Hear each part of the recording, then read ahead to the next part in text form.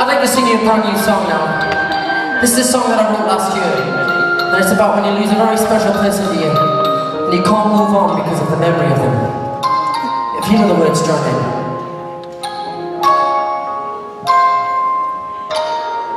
I let you go